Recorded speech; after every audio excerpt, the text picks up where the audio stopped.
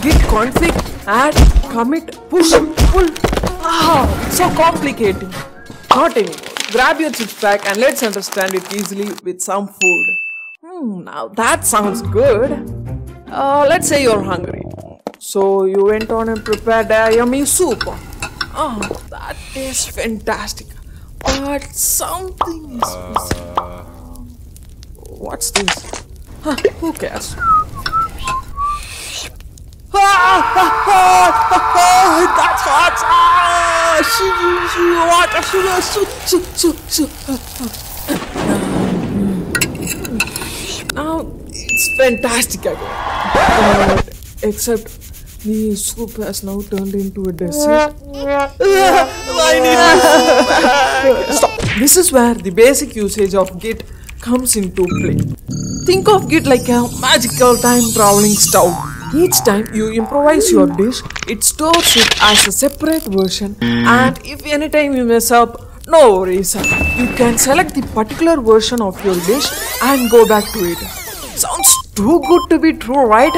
We actually have the blessing to do that in our programming world. Uh, for now, let's understand the seven basic commands for working in our local machine. 1. Git init. This is to initialize a new repository, just like setting up our magic stove or getting our utensils ready to use. Second, git config sets the configurations for a recipe like the user or the cook, the recipe name, etc. Now you start the cooking process. You chop the veggies, prepare the mixtures and add them to your recipe. 3. Adding this is like git add where we can add the files to be included. Here we add the ingredients to be included in our recipe. You are all done with your first version of your dish. 4. Now we do git commit to save the current version of our dish or recipe into our stove.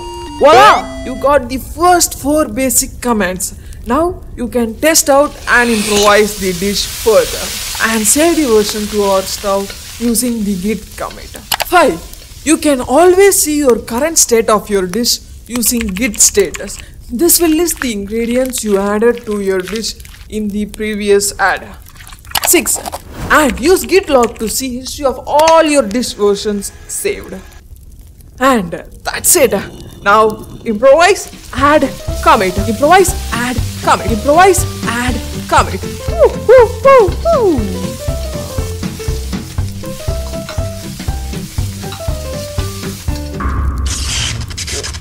Is he acting weird? Ah! Ah! That's rat poison! Chill. We have our magic stuff. Uh, yeah, do git log. This gives the list of all your saved versions. Now, select the version you need to go back to. That's the version before adding the rat poison. Version 3. And here comes the final secret command. 7 git revert to undo our changes and get back to the specified version as a new version. Ah, git literally saves lives. Hey, we too wanted to, we too wanted to try out this one. We too want to, I want to add. Uh, sure, sure, sure. But that's for another video. Let's look into how to work with other chefs remotely and push, pull, merge things in the next video. In meantime, uh, why not have dinner together? I will get it for everyone. Everyone should try it. Uh, gu- guys? Gu- Voy a cantar gu- guys? esta canción con mucho cariño de mi corazón a la República Dominicana, la Yes, we casa del merengue, la casa de la bachata, Do you want some? la la la la la la la y la casa de la bachata.